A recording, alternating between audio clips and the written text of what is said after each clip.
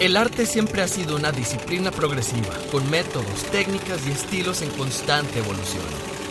Sin embargo, esta forma de arte con láser toma el proceso creativo a un nivel completamente nuevo, mientras el espectador puede ver la pieza mientras es creada en su totalidad.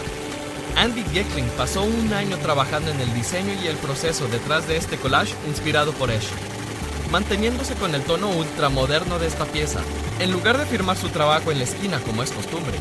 Geckling escribió en código binario los puntos a lo largo de la columna vertebral de la espiral Golden Ratio. El resultado, un increíble show y una increíble pieza de arte.